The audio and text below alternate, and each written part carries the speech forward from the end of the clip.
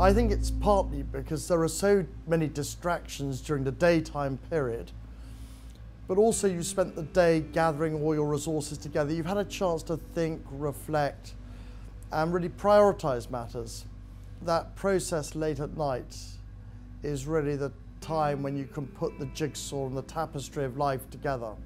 It's no secret that he wrote over well over 50 books, 10,000 magazine articles, and most of that literary production was done late into the night. And of course, he won the Nobel Prize for Literature for his writing works. So, um, uh, you know, it was a time where he could really gather his thoughts and really think greatly about the future. And of course, he was always a great optimist, and uh, that always um, helped his judgment.